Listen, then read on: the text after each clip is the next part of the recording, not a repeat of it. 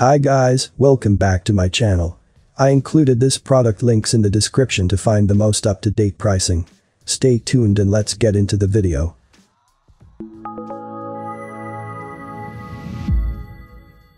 Lasko Heating Space Heater.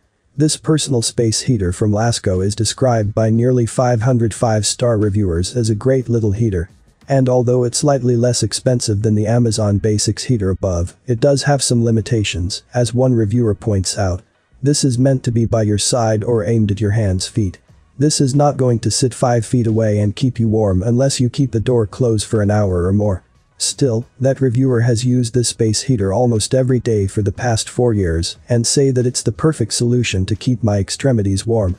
In the before times, when we all went into the office, they even used this unit in the summer, when the rest of the office has the AC set at a low temperature.